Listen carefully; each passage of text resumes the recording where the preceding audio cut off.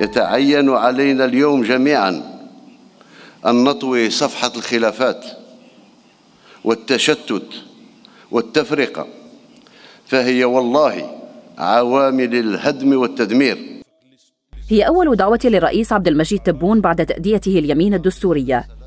تجاوز الوضع السياسي الراهن وتقديم تضحيات لبناء دولة ديمقراطية جديدة شعار نزيل قصر المرادية الجديد في المرحلة المقبلة.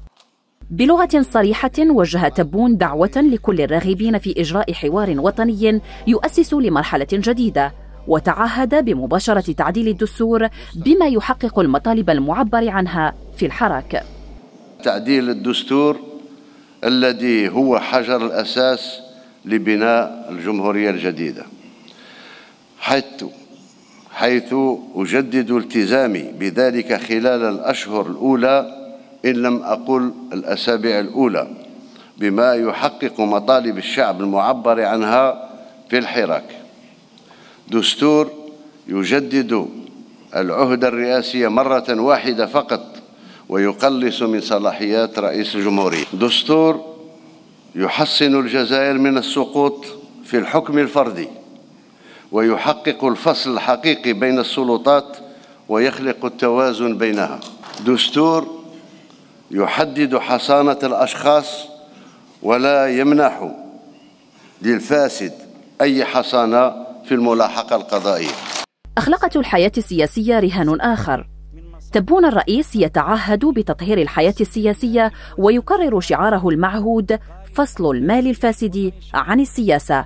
وفق شروط سيحددها قانون الانتخابات الجديد. إعادة الاعتبار للمؤسسات المنتخبة.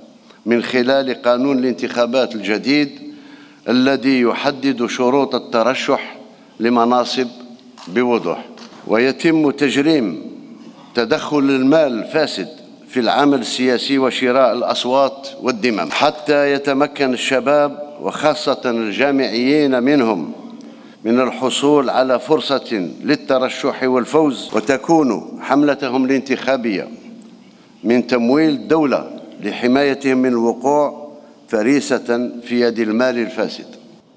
التأسيس لمسار ديمقراطي جديد ومباشرة مشاورات مع كل الأطراف المعنية هي ورقة عبور الرئيس عبد المجيد تبون لمرحلة جديدة تعيد لمؤسسات الدولة هيبتها كما يتعهد ويعيد الاستقرار للبلاد بعد مخاض سياسي عسير دام قرابة العشرة أشهر.